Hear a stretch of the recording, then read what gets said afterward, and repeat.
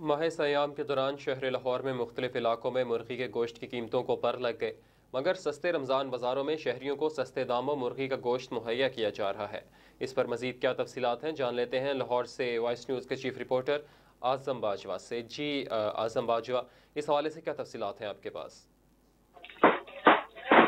आज बिल्कुल अगर बात की जाए माह श्याम के दौरान हर घर की ज़रूरत चिकन के हवाले से तो इस वक्त जो है ओपन मार्केट में चिकन की कीमतें जो है वो आसमानों को छूती हुई दिखाई दे रही है, लेकिन इसके साथ साथ हुकूमत पंजाब की जान से शहर लाहौर के मुख्तलिफ़ इलाकों में लगाए जाने वाले जो सस्ते रमज़ान बाज़ार हैं, वहाँ पर जो है ओपन मार्केट की बनस्बत चिकन की कीमतें काफ़ी हद तक जो है वो कम दिखाई दे रही हैं। आज भी अगर ओपन मार्केट की बात की जाए तो चिकन की पर केजी कीमत जो है वो पाँच सौ पचहत्तर रुपये पाँच सौ अस्सी रुपये के करीब जो है वो है, लेकिन ओपन मार्केट के बनस्पत अगर रमज़ान बाजारों की बात की जाए तो यहाँ पर इस वक्त चिकन की कीमत जो है पाँच सौ पचास रुपये पर के जी जो है वो लगाई गई है। कुछ खरीदार मौजूद हैं, उनसे भी गुफ्तु करूँगा। सर, यहाँ पर आप चिकन खरीद रहे हैं, क्या कहेंगे कीमत के हवाले से और मकदार के हवाले से और इसके अलावा इसके म्यार के हवाले से? जी सलामकुम पहली बात, ये बहुत अच्छा इंतज़ाम वगैरह as compare to commercial market में जो है, वो रेट ज़्यादा है।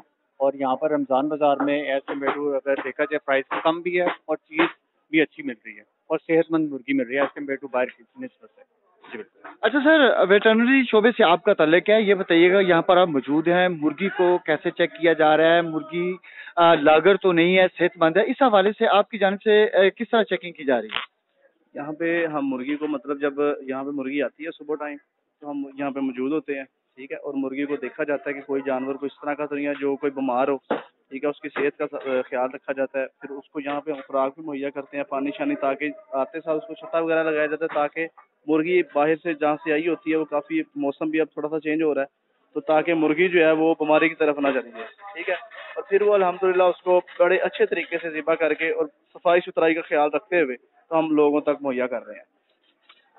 जी, बिल्कुल, आपने सुना कि खरीदार जो हैं, उनका ये कहना है कि ओपन मार्केट की बनस्बत इस बाज़ार के अंदर इनको काफ़ी हद तक जो है, वो चिकन का रेट कम मिल रहा है, जिसकी वजह से लोग जो है, इस वक्त यहाँ पर खरीदारी में जो है, वो मसरूफ दिखाई दे रहे हैं।